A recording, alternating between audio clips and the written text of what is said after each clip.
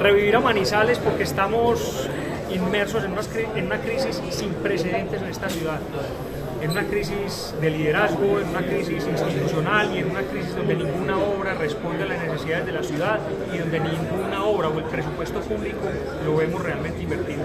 Por eso queremos revivir a Manizales. ¿Qué tiene Miguel para Manizales? ¿Qué tiene Miguel Trujillo?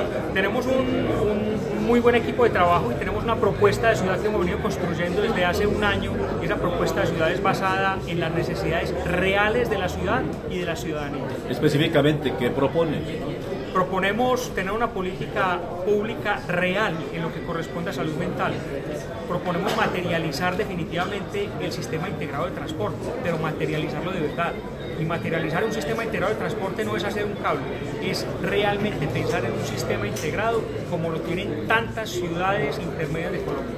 ¿Cómo va a ser su proceso para llegar a ser candidato?